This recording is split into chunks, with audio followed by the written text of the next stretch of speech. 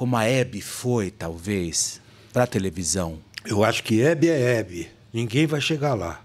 Porque eu conheci a história da Hebe, é minha amiga, aquela naturalidade, aquela tá, coisa. Tá, a gente está Hebe... falando da Hebe, mas assim, da, da relevância que ela teve para a televisão. Agora, a Eliana, ela realmente se preparou. Ela veio para a Record, numa determinada época, depois de ter trabalhado no SBT, e aqui foi dado a ela o desafio de parar com o programa infantil e lançar um programa infanto juvenil infanto juvenil à tarde né? É, domingo à tarde.